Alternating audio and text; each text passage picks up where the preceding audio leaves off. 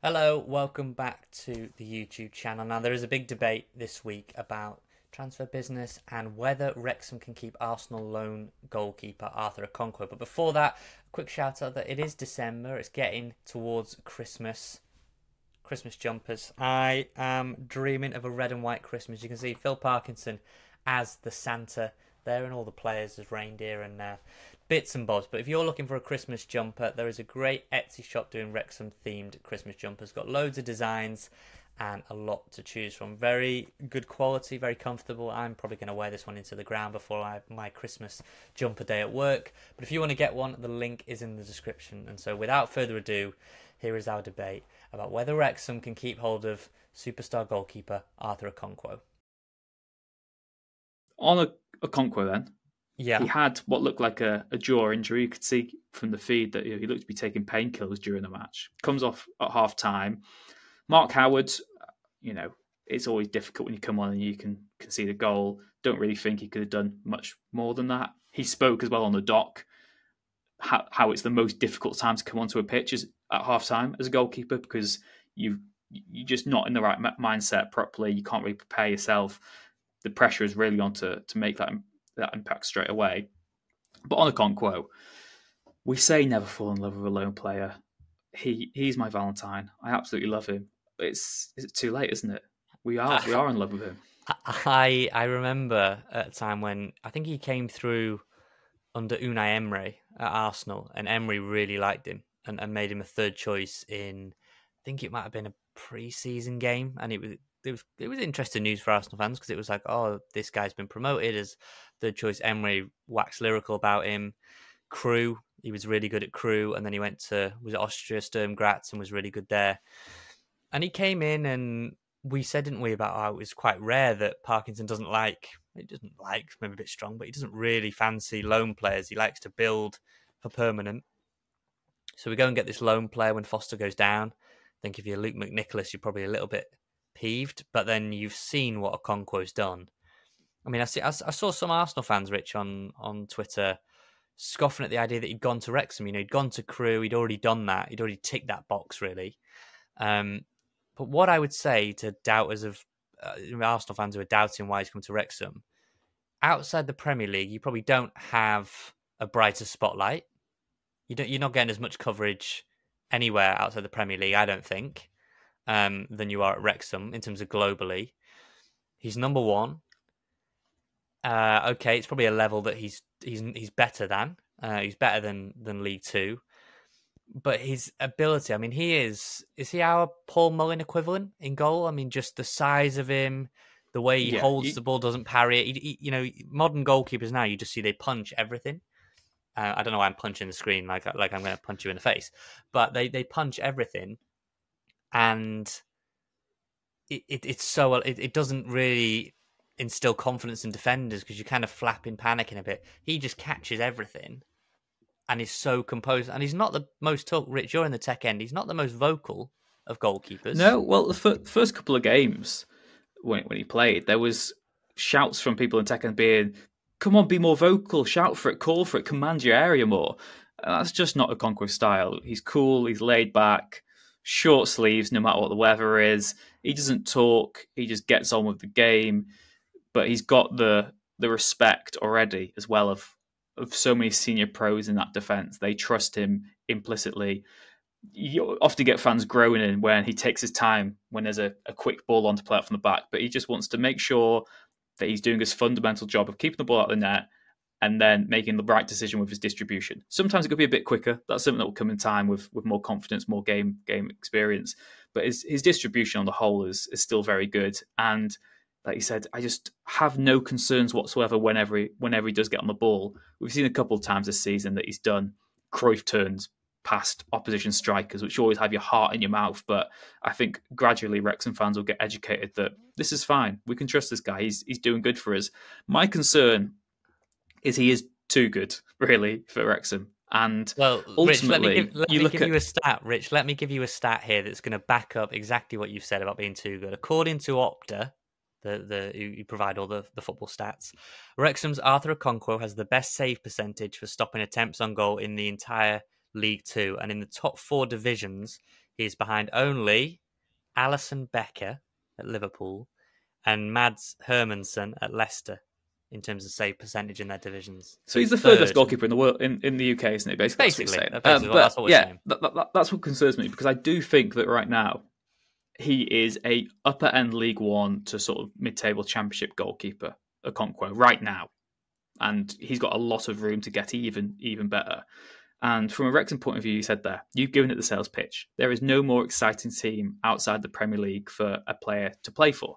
And there's huge potential, huge potential for growth, huge chance for him to market himself if he wanted to be a brand. I really don't think he, that's that interests him at all. He's just a very good goalkeeper. That's what he's good at. That's what he wants to wants to focus on. So in terms of Okonkwo's CV, Wrexham would probably be the most logical in terms of your brand recognition and getting your name out there. But for his point of view, what does being in League One? I mean, best case is Wrexham are in League One next season, and you know that would be a player who's matching our ambition of going up the leagues. But the concern is then if Wrexham are going to sign him, they will only offer him look a free four year deal. You'd imagine because that's been that's been what what we've done in the past. Make exceptions for the older players over the age of sort of thirty two, whatever. They can have one two year deals.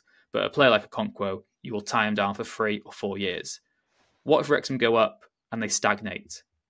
All this momentum he's built and this opportunity being a championship goalkeeper goes. He then just becomes a League One goalkeeper and the best, and he has maybe two, three seasons in League One because that's a very realistic possibility for Wrexham. But what I could say is uh, that's obviously that's football. That is the gamble you take as a player. You could go, it might not fit in, you might not be sort of like universally adored, and that goes for all these players. You know, we're talking about Elliot Lee or Paul Mullin, but a Okonkwo, he's number one. He's settled in the environment. There's an element that he could get swept up by promotion, like Ben Foster did. You know, he, Ben Foster, I think if he looks back logically, would have said that would have been the perfect time to bow out. But you get swept up in it. You're human beings. You're emotional. You know, it's hard to turn Ryan Reynolds and Rob McElhenney down when they're shoving a contract and a pen in your face. Um, so Okonkwo could get swept up. What I would say is release clause.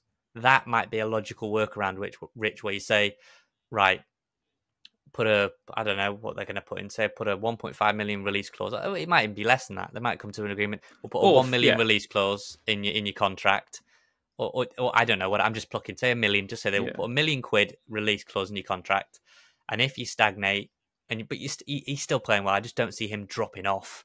If the team drops yeah. off in a few years, I don't see his form dropping off to the point where he wouldn't be wanted. You know, he's got Arsenal on his CV. He'll have good contacts in the game it'd be valuable abroad for that experience he had at Arsenal.